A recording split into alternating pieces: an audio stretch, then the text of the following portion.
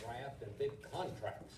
But we're gonna call an audible. We're gonna switch sports tonight because we've run across an absolutely amazing basketball player that we want you to see. Here's Steve Hartman. Greece Athena High School in Rochester, New York has a new, most unlikely hero, a special ed student by the name of Jason McElwain. Let's keep it going. Jason is the basketball team manager. For the past couple years, he's been assisting Coach Jim Johnson, helping with whatever the team needs. And go! Get him motivated, uh, hand out water, and just be enthusiastic. Enthusiastic, to say the least. Despite being born with autism, Jason's father says his son has never had a problem expressing himself at basketball games. You know, I was always concerned that he might get a technical when they lose a game because he, you know, start yelling or whatever. Let's have a hard practice tomorrow. All hour and a half, and let's get ready for Arcadia. Let's go. One, two, three, two. Because he has been so devoted to the team, for the last game of the season, Coach Johnson decided to let Jason actually suit up. Not to play necessarily, just to let him feel what it's like to wear a jersey. At least that was the plan. But with four minutes to go in last week's game, Coach Johnson stood up and pointed to number 52, Jason McElwain. After years of fetching water and toweling off other people's sweat, Jason was actually in a game. His first shot was a 20 footer from the right baseline. Was it close? Did you almost I make it? just, I just airballed it. I'm like, just dear God, please, let's just get him a basket. His second shot missed too, but the third was a charm. A three point no doubter. And Jason wasn't done yet. Not by a long shot. If I wasn't there to witness it, I wouldn't have believed it, you know. Caught fire. I just caught fire. I was hot as a pistol. Jason ended up shooting six three pointers, one right after the other. He had 20 points total, and each time a shot went in, his teammates and the crowd went a little crazier. His last basket, right at the buzzer, created total mayhem. Because he is autistic, Jason says he's used to feeling different, but never this different. Never this wonderful. Steve Hartman, CBS News, Rochester, New York. Okay, so this video, uh, when it came out, it went viral, and now if you look at in YouTube, there's like different versions of it, but in total, it has more than a million um, views. So why why do you think is that? Why do you think it was that popular? That a video that was like randomly uploaded on YouTube got so many so many views? networks Networks? because it doesn't happen so frequently. So like a surprise factor. And also like they were kids like putting American shows like all. Yeah. It's like inspiring and motivational, and not only like does he inspire other kids like him to like achieve things like him or even better, it also like says like it tells us that we set our minds to something like we can achieve. Like, Exactly. Anyone else? and maybe got shared on social media. Yes, that's two. Maybe because it's something that's like out of the ordinary, like not every, Ca- Can you speak? Can you hear from there? Yes. and like you, you don't see those kind of things like every day, it's something Mhm. different. Correct. Well, all of you are right, and this story um, actually is a really good example because it um, exposes very clearly the six ingredients that make a story successful, and I'm going to share those with you. Uh, so the first one is simplicity. The story is about an autistic boy that scores six three pointers at a high school, and no one really was expecting this, right? Um, and it's a very simple story to tell. Like if you left here today, I'm sure tomorrow you can still tell your friends, oh, I saw this video, of this autistic guy who, in a basketball game, managed to score six three pointers, or something along those lines. So it's very simple to remember. The second one was mentioned uh, several times and is unexpectedness. no one expects maybe an autistic boy to be able to achieve this, and, and still they find it hard to believe. Which links to the third um, principle, which is concreteness. You can still see he, he scored six three pointers, you saw the video, so it's real, it's not, no one made it up, you can see it by yourselves.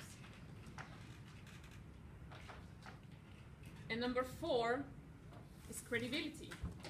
It's a credible story, there's evidence, um, you can verify it. Number five is emotions, and it's a story that really links to us from an emotional perspective. And ultimately, those are the stories that stick with us for the longer term, those that manage to um, get ourselves from, get, get to us from an emotional perspective, not just facts or just raw data.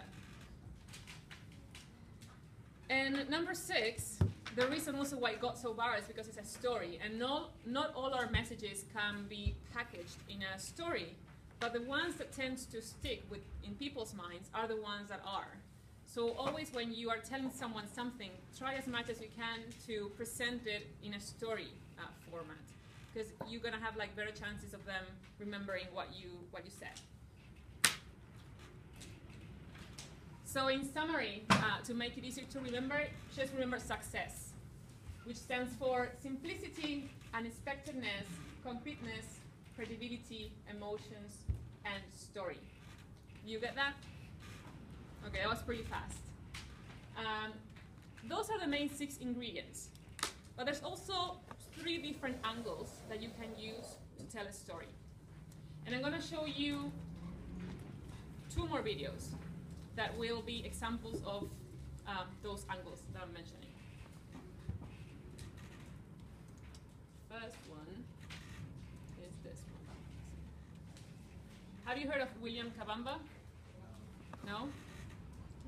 I think Yoka mentioned him yesterday in her presentation.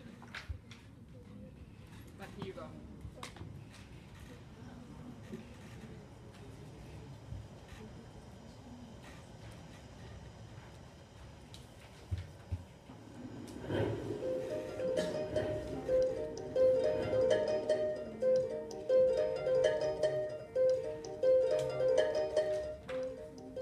Kamkwamba, and I'm from Malawi. And the economy of Malawi, most of them we depend on farming. Yeah, we depend on tobacco. I'm 20 years old now. My village, I've got uh, 60 families, and my family, we are about 20. I was dropped out because I didn't, my parents have no money to pay me a school fees, and uh, a school fees is uh, eighty dollars. We have enough wind in Malawi, and I, I was thinking, what can I do to use that wind so that we can have something? That's why I decided to read some books about the windmills. The first time I saw a windmill in the book, they just come up with the drew the come up with the pictures, but they didn't say anything what you can do to build that windmill so that you can generate electricity or you can pump water. You figured that out on your own. Yeah, I figured on my own. If this windmill is in this book, if uh, if I can try, maybe I can make mine so that I can have electricity in home. The time I was set to build a windmill, I was uh, uh, 14 years. Uh, it took me uh, um, about uh, two two months to build the first windmill.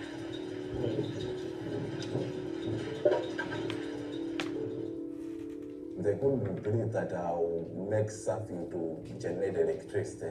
What uh, makes people to start realizing that uh, this thing is uh, useful when you uh, power a radio. Was, was it music that was on the radio? Uh, it was uh, a local Malawian reggae music.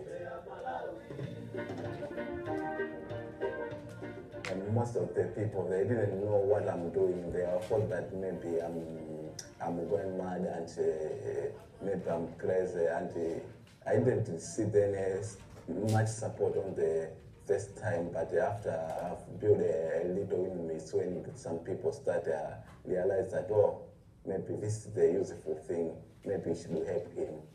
Yeah.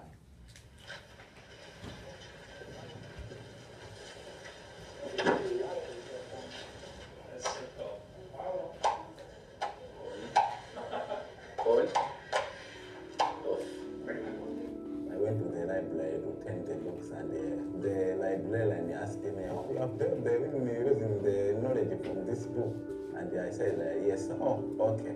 I'll come to your home so that I can see. And uh, the guys came with some journalists and uh, like uh, an article about the windmill.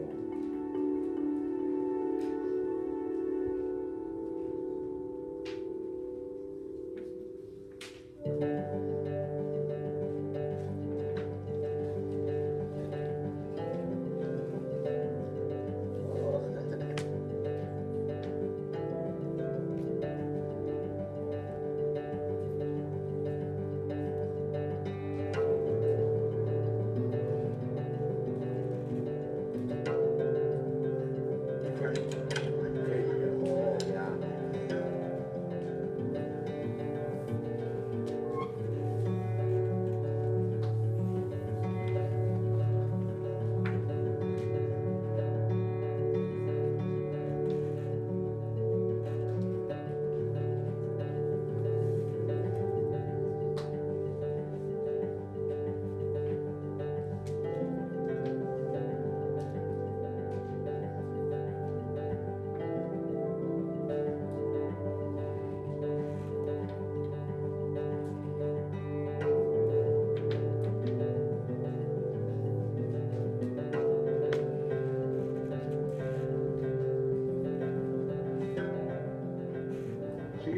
machine that's like this? I took a, a tractor, a tractor fan. Well, first off, when you see these enormous windmills, what are your first impressions? Uh, from a photograph in a textbook, William built a windmill. This is a story that uh, that is uh, should be shouted from the rooftops. My dream is to finish my education and uh, in the future to start my own company about the windmills. Most of the people they want technology about the internet technology, but they cannot use the internet technology without electricity. That's what I'm planning to do is to come up with the reliable electricity. Yeah, that's what I'm planning to do.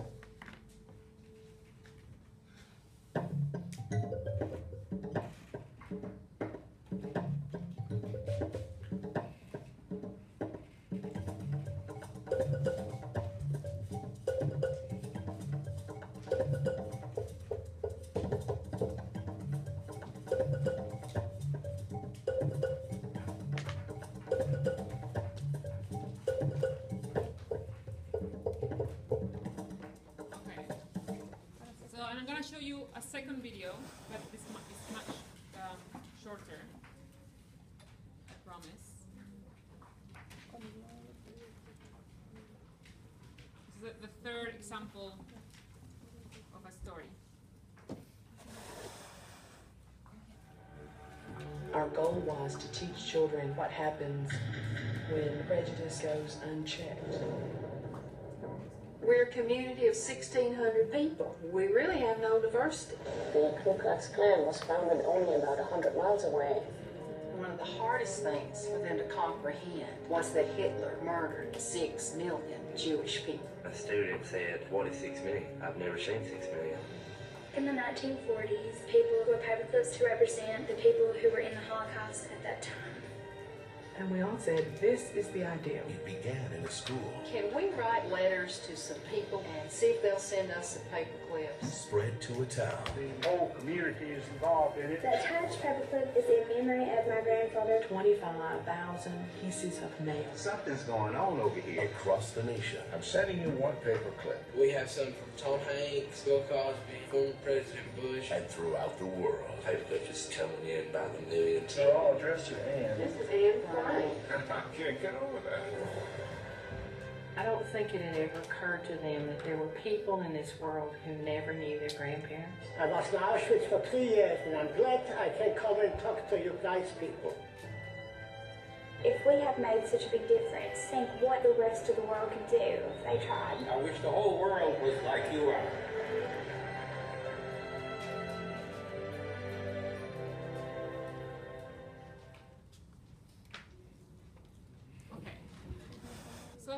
Ago I said there were three angles. Um, For those good participants, a couple of quick messages.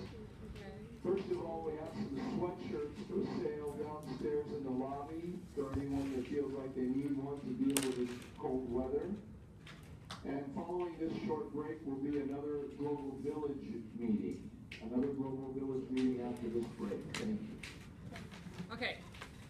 So most inspirational stories that we tend to remember um, follow three common plot lines. Okay. The first plot line is a challenge plot. So when someone overcomes a very difficult challenge or, or triumphs uh, over adversity. So remember, challenge. Okay, that's the number one. The number two is creativity. When someone comes up with a very brilliant solution um, or something truly out of the ordinary. Um, think, for example, uh, of social entrepreneurs that are very innovative and create new solutions for social problems. So, creativity. And the third one is the connection plot. So, when someone makes an unlikely connection with someone else. So, challenge, creativity, and connection. Yeah, you got it? So, we saw three videos. Can you guess which one is it? Ideas?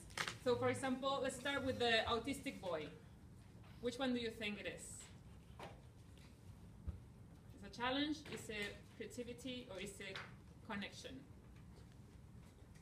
Challenge. connection? Challenge. It can be connection. Okay, yeah, challenge is probably the, the strongest one. Now, it doesn't mean that in a story you can have only one. Sometimes you might have more than one uh, plot line. But certainly, challenge uh, is a very strong one on the autistic boy video. Then, William Kamkwamba's video, the, the boy that built the Creativity. creativity, perfect. And the last one connection, paperclips. Now, paperclips is also an example of a creativity plot. So this shows you how you can use the different ones, and you can always tell any single story from these different angles. So, for example, you could tell um, you could tell the autistic boy story from a connection perspective, and you can choose which one you make stronger. And even all of your stories and the stories of your projects, you can choose which of the plot lines is the best suited for your story and put the emphasis um, in that. The reality is that there's never one story. Even for ourselves, our own, the story of our own lives, we can tell it in many different ways. Okay? So we don't have much time left, but before we leave, I want you to try the following. Can you think of your own project, the one that you um, brought to Jean, and think whether it involves someone overcoming a great challenge, or if it involves someone being creative and coming up with innovative solutions, or if it brings together people who are normally worlds apart? And can you come up with two or three sentences to tell the story of your project using at least one of these plot lines? We got like five minutes. We have to write it. And when you do that, remember also the, um, the six elements that I mentioned before. Simplicity, unexpectedness, concreteness, credibility, emotions, and story. So think of the three plot lines and the six ingredients, and how you can use that to tell the story of your project. You have to also say like what our project. Yes, so it's based on your project. So if you met someone on an elevator and you had three minutes to tell them what your project is about, If you met someone in the elevator, you wouldn't have three minutes. how would you do it? What?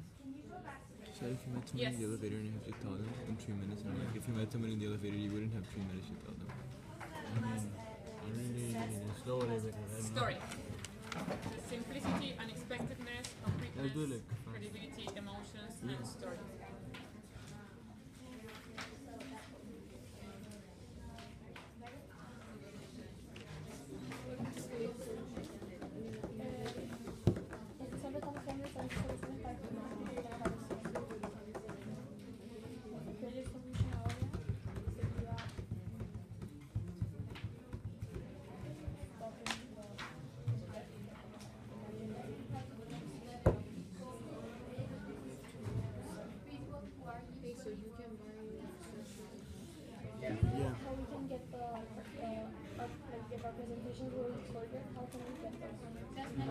YouTube channel.